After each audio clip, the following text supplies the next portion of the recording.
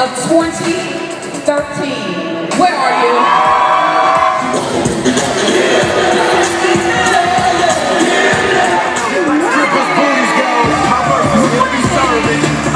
Say leaders, talk back to me. How you doing?